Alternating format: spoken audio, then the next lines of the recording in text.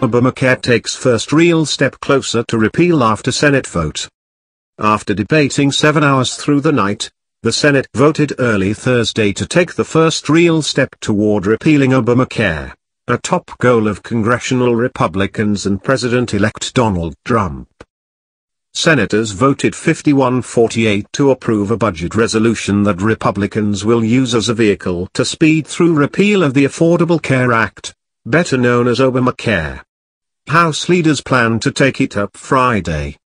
Senators began voting on 19 amendments to the resolution about 6.30 p.m. Wednesday before passing the budget measure about 1.30 a.m. Thursday.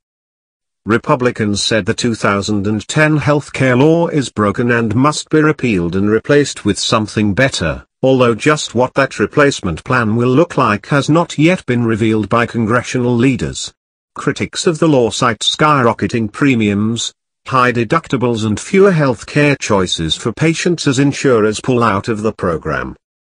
When Obamacare's supporters forced their partisan law on our country, they promised an easy-to-use system, one that would lower premiums and out-of-pocket healthcare costs, one that would foster choice and allow families to keep the plans and doctors they liked, said Senate Majority Leader Mitch McConnell, ARKY. But it didn't take long for the American people to discover the truth about Obamacare. Too many have been personally hurt by this law. Too many feel they're worse off than they were before Obamacare.